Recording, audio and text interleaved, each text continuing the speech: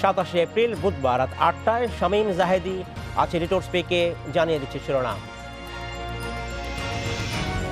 নির্বাচন পর্যন্ত দেশের একষট্টি জেলা পরিষদের বিদায়ী চেয়ারম্যানরাই প্রশাসকের দায়িত্বে থাকবেন, প্রজ্ঞাপন জারি।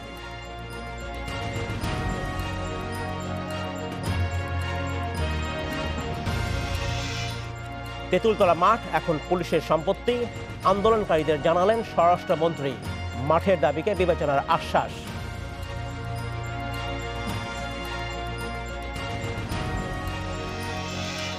মৌসুমের আগেই রাজধানীতে বেড়েছে এডিসের ঘনত্ব। ব্যবস্থা না নিলে পরিস্থিতি খারাপের দিকে যেতে পারে, বলছেন কীটতত্ত্ববিদরা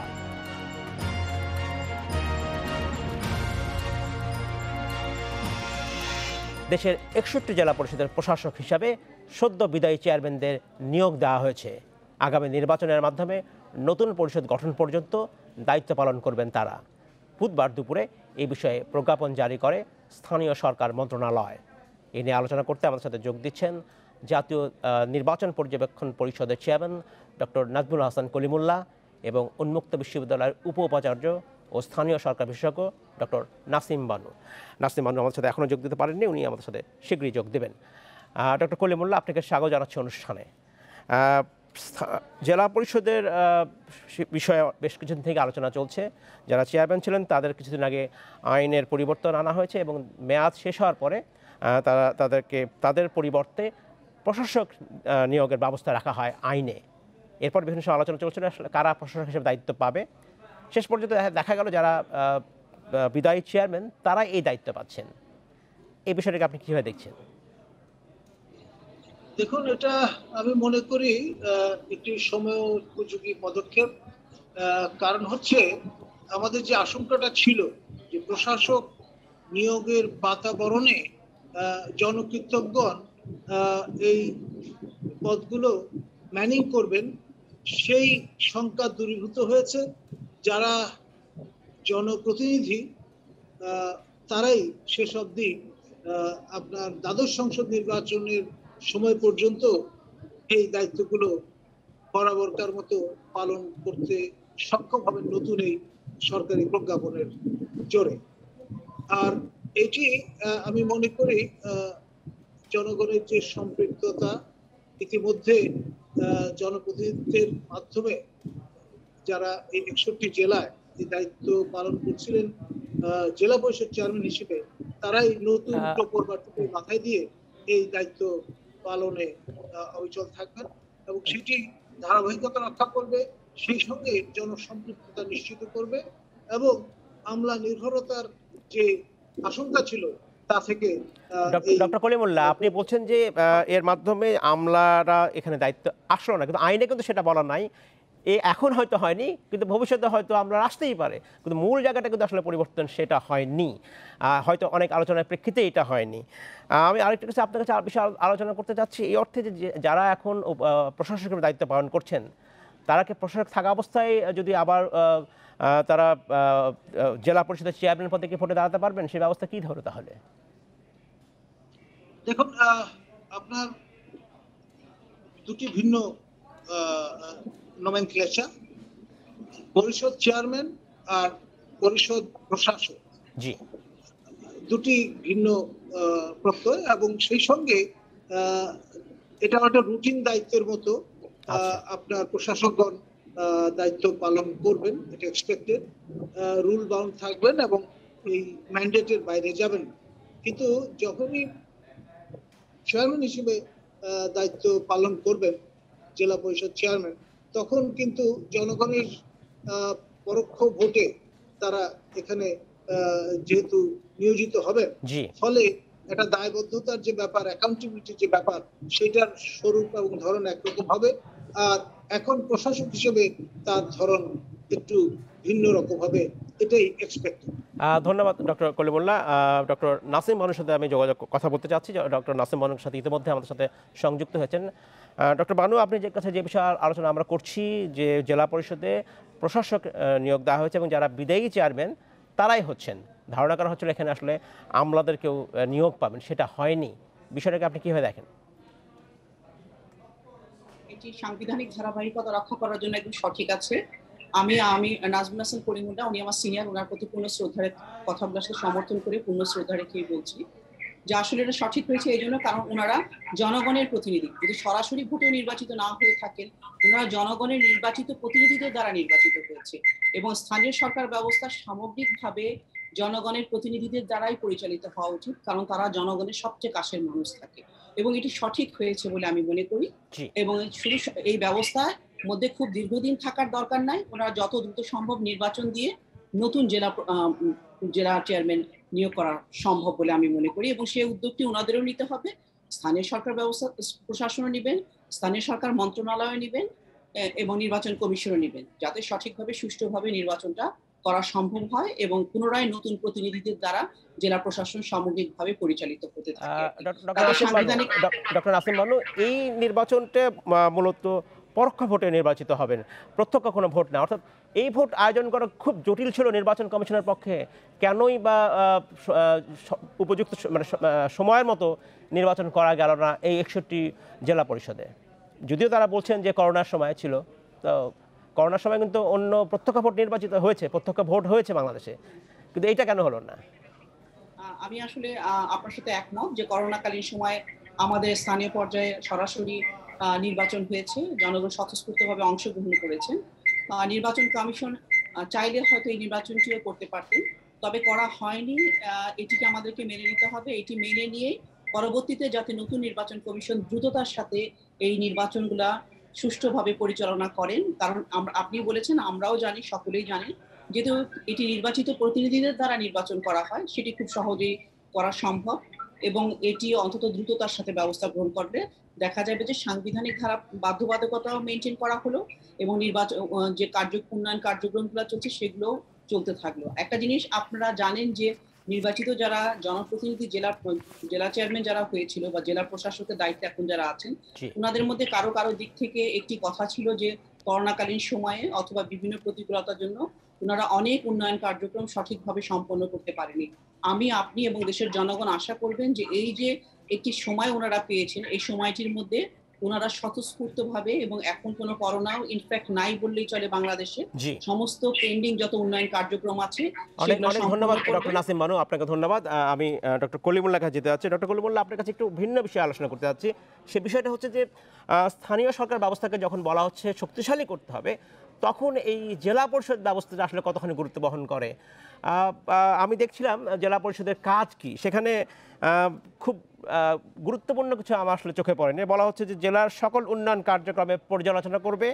উপজেলা পরিষদ বা পৌরসভা কর্তৃক গৃহীত উন্নয়ন প্রকল্পসমূহের বাস্তবায়নের অগ্রগতি পর্যালোচনা করবে। সাধারণ পাঠাগারের ব্যবস্থা ও উহার রক্ষণাবেক্ষণ। উপজেলা পরিষদ বা পৌরসভা বা সরকার কর্তৃক সংরক্ষিত নয়। এই প্রকার জনপথ কালভার্ট ও ব্রিজ নির্মাণ, রক্ষণাবেক্ষণ উন্নয়ন এমন অনেক বড় লিস্ট রয়েছে কিন্তু খুব গুরুত্বপূর্ণ চোখে পড়ল না। আসলে কি প্রয়োজন মেটাচ্ছে আমরা যদি বলি যে লোক প্রশাসনের দিক থেকে যে চিন্তা করা হয়? দেখুন আপনার জেলা ঐতিহাসিকভাবেই প্রশাসনের গুরুত্বপূর্ণ একটি ইউনিট এবং জেলা প্রশাসকগণ হচ্ছেন মা বাবা, একটি ওই ইউনিটের সকল কর্মকাণ্ডের কেন্দ্রবিন্দু। তো সেখানটায় আপনার জনপ্রতিনিধিত্ব পরোক্ষভাবে হলেও একটা টিয়ারে সমান্তরাল ভাবে রেখে দেওয়াটা আপনার জরুরি মনে করে, করা হয়েছে। স্বাধীনতা উত্তর বাংলাদেশে এবং স্বাধীনতা উত্তর বাংলাদেশে বিভাগ পর্যায়েও কিন্তু সেরকম একটি অ্যারেঞ্জমেন্ট ছিল। পরবর্তীতে জি। তা রহিত করা হয়েছে এবং জেলা পর্যায়ে পর্যন্ত এটি বিদ্যমান আছে জেলা পরিষদের ঐতিহাসিক তাৎপর্য এবং ভূমিকার কথা মনে রেখে প্রতিষ্ঠান হিসেবে এটিকে বহাল রাখা হয়েছে ধন্যবাদ আপনার দুজনকে। আমরা একটা ছোট্ট বিরতি নেব। বিরতির পরে ফিরে আসব আবার আলোচনায়। আমাদের সঙ্গে আছেন জাতীয় নির্বাচন পর্যবেক্ষণ পরিষদের চেয়ারম্যান ডক্টর নাজমুল হাসান কলিমুল্লাহ এবং স্থানীয় সরকার বিশেষজ্ঞ ডক্টর নাসিম বানু। আপনার দুজনকে স্বাগত জানাচ্ছি।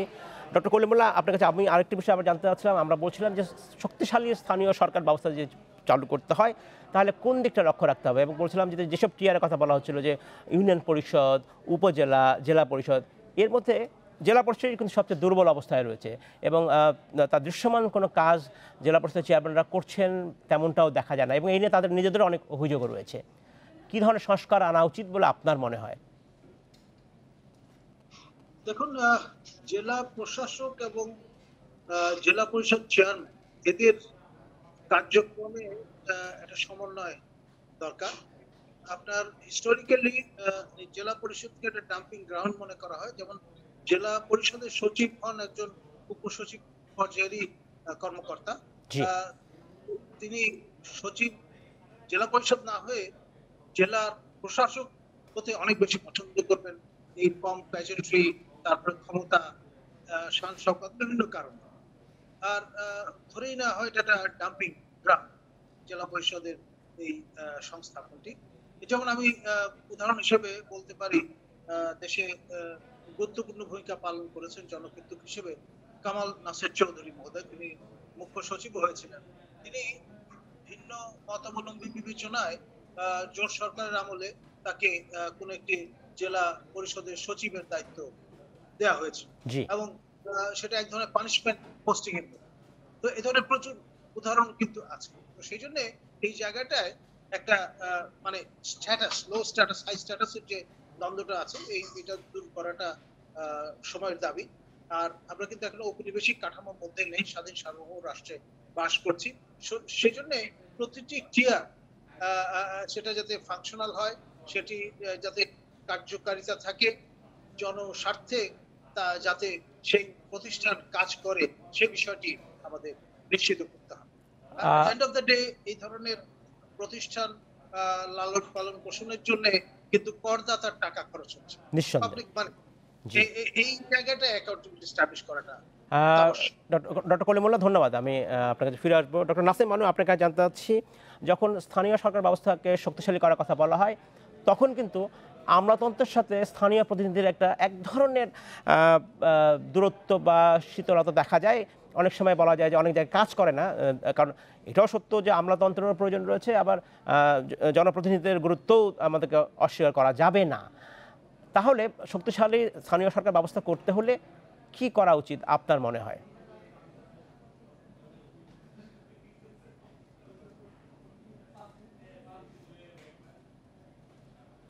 ডক্টর নাসিম বানু আপনি কি আমাকে শুনতে পাচ্ছেন? ডক্টর নাসিম বানু?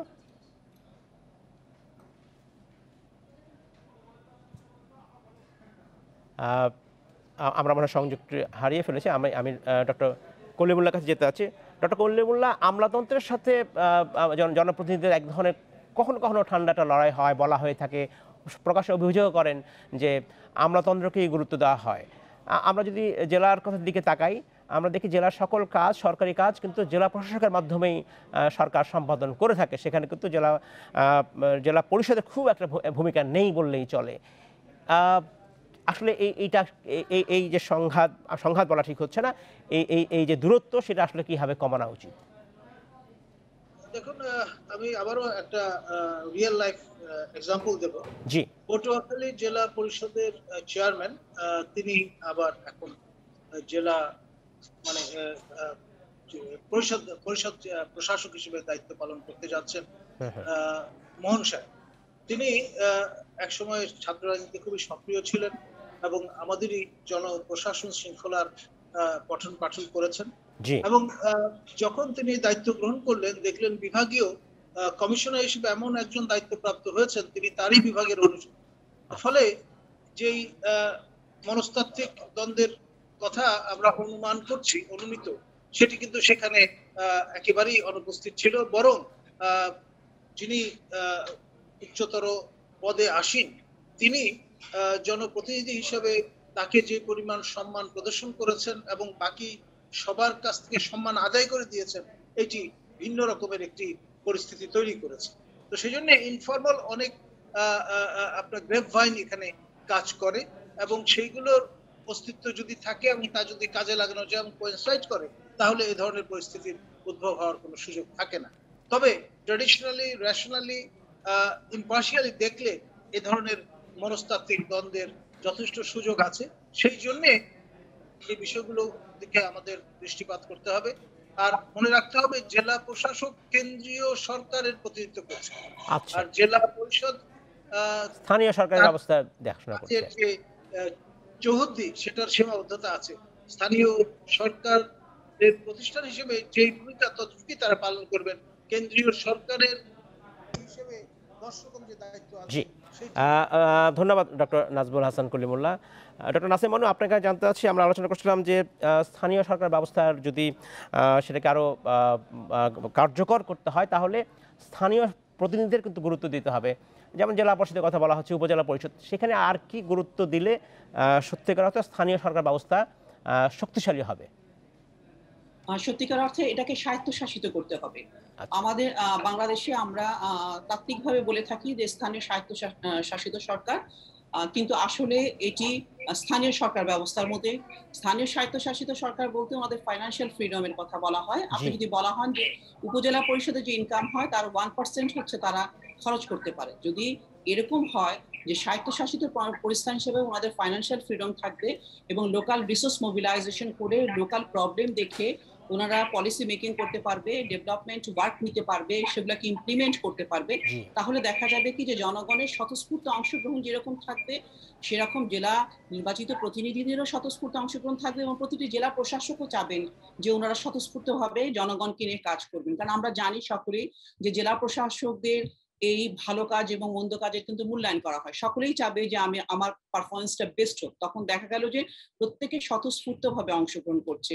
নীতিগতভাবে যদি আমরা মনে করি যে ওনাদেরকে সত্যিকার অর্থেই যে আমরা স্থানীয় সরকার ব্যবস্থাকে শক্তিশালী করতে চাই, জেলা বা একটা উপজেলা যে পরিমাণ রাজস্ব আদায় হয় সেটা দিয়ে তো সে একটা জেলা বা একটা উপজেলায় ডেভেলপমেন্ট কাজ বা উন্নয়ন কাজ সম্ভব নয়। তাহলে তো কেন্দ্রীয় সরকার কাছ থেকে সেই টাকাটা দিতে হবে তাই তাদেরকে।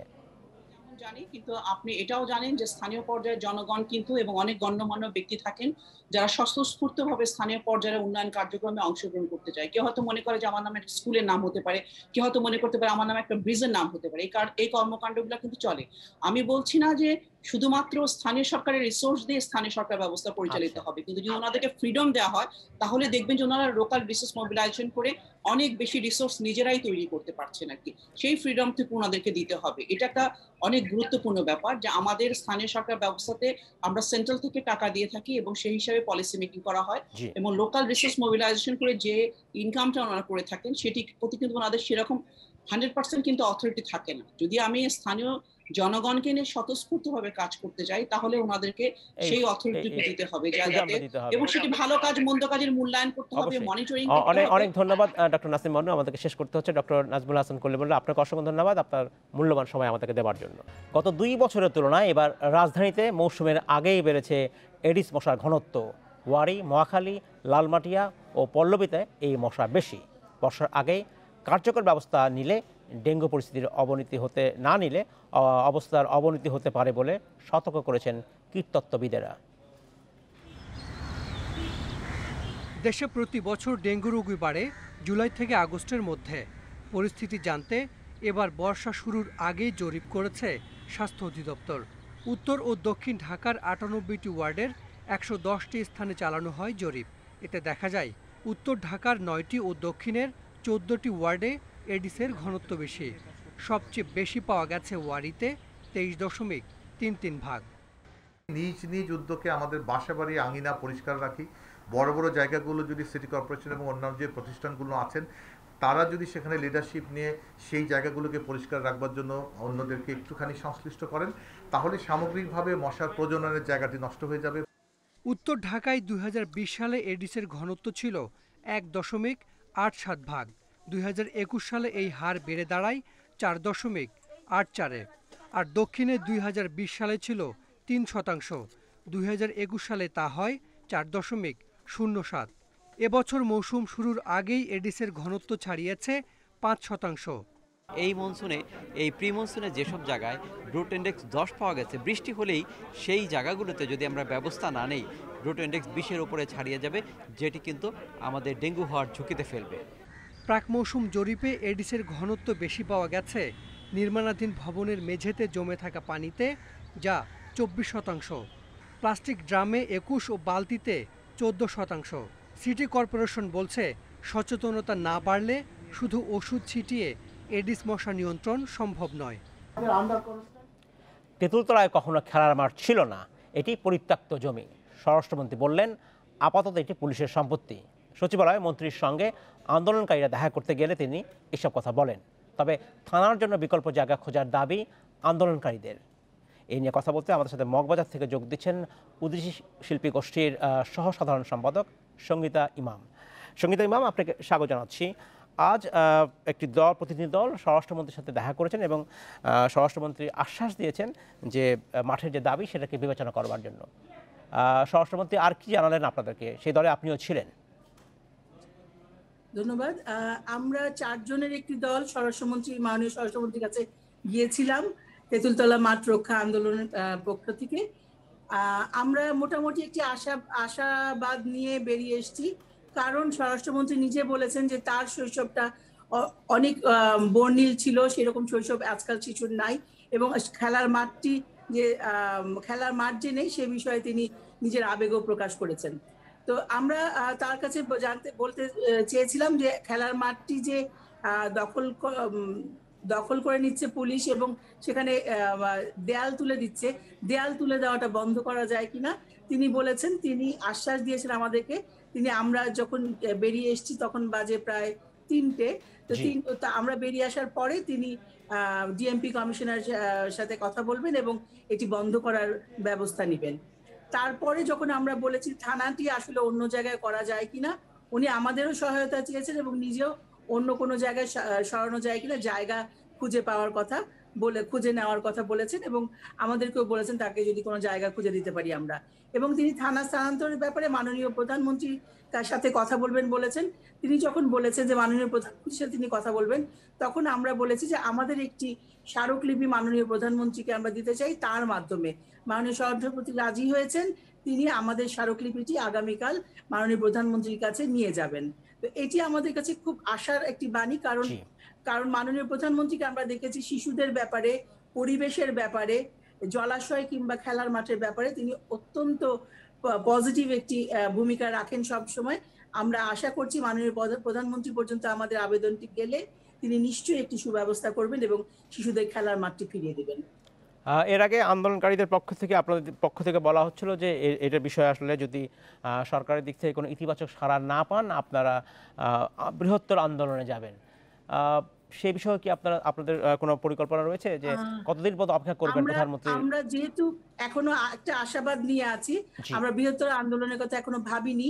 যদিও আমরা যখন স্বরাষ্ট্রমন্ত্রীর কাছ থেকে গিয়ে আমরা মাঠে গেলাম মাঠে আমরা একটি সাইনবোর্ড লাগিয়েছি।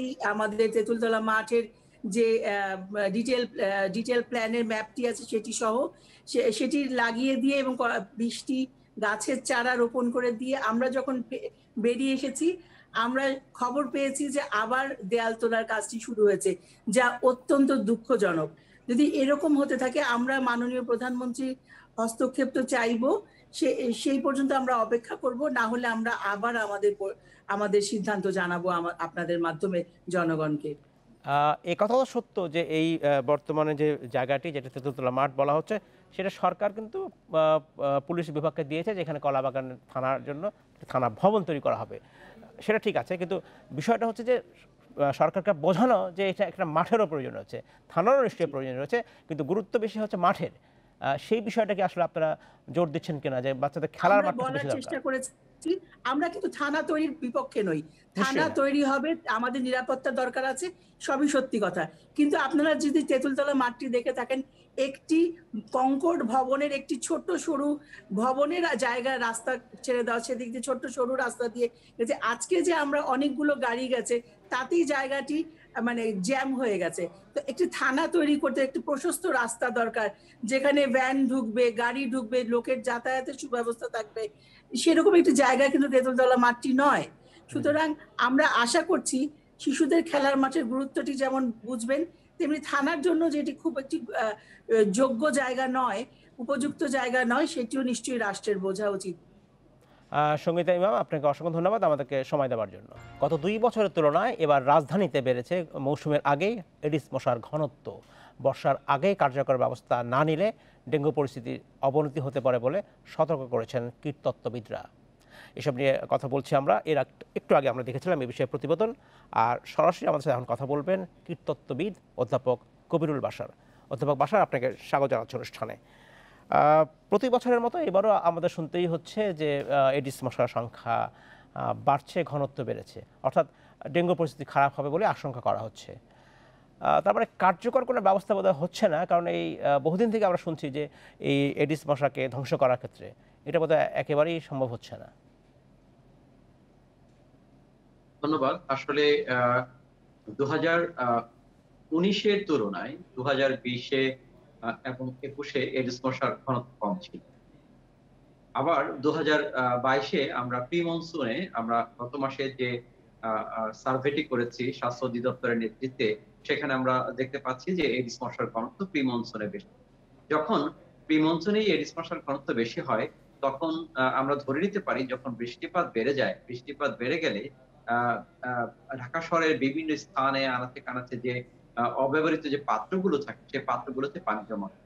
আর ওখানে পানি জমা হলে ওই বৃষ্টি জমা পানিতে এডিস মশার ঘনত্ব তখন বাড়বে এবং এটি তখন ডেঙ্গু হওয়ার একটি আশঙ্কা থাকবে প্রিমনসুন জরিপে এটি বলা হয়ে থাকে প্রিমনসুন একটি প্রেডিকশন বা ফরকাস্টিং করা হয়ে থাকে যেটির উপর ভিত্তি করে আমরা যদি এডিস মশা নিয়ন্ত্রণের ব্যবস্থাটাকে বেগবান করতে পারি, তাহলে মৌসুমে এডিস মশাকে নিয়ন্ত্রণে রাখা সম্ভব। কিন্তু আমি যেটা প্রথমে নিয়ন্ত্রণ করা একেবারেই সম্ভব হচ্ছে না। এখন বহুবার বলা হয় যে যে মশা নিধন এই মশা নিধনের জন্য যে ওষুধ ব্যবহার করা হয়, সেটা খুব মানসম্মত নয় এমন কথা বলা হয়, বা সাধারণ মানুষকে সচেতন করবার কথা বলা হয়। কোনো কিছু আসলে কোনো কাজে আসছে না। নতুন কোনো পদ্ধতির দিকে নজর দেওয়া উচিত কেন? যাতে এই মশা নিধনে কার্যকর ভূমিকা রাখা যায়। এখানে একটা জিনিস সকলেরই বুঝতে হবে বিশেষ করে নাগরিকদের বুঝতে হবে এডিস মশা এবং কিউলেক্স মশা কিন্তু আলাদা। কিউলেক্স মশা ড্রেন বা নর্দমা পচা পানিতে হয় এডিস মশা হয় পাত্রে জমা পানিতে।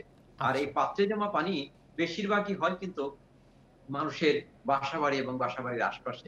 এখানে ড্রেন বা নর্দমাতে যেহেতু এই মশাটি হয় না এই মশাটি হয় মানুষের বাড়িতে বাড়িতে বিভিন্ন পাত্রে জমে থাকা পানিতে সেই ক্ষেত্রে এখানে আমরা এডিস মশা নিয়ন্ত্রণের ক্ষেত্রে সোর্স রিডাকশন বা যে সকল যে সকল জায়গায় এডিস মশা জন্মায় সেই জায়গাগুলোকে ম্যানেজমেন্ট করাটাকে আমরা প্রায়োরিটি দিয়ে থাকি। এখানে কিন্তু কীটনাশকের ভূমিকা অনেকটাই কম।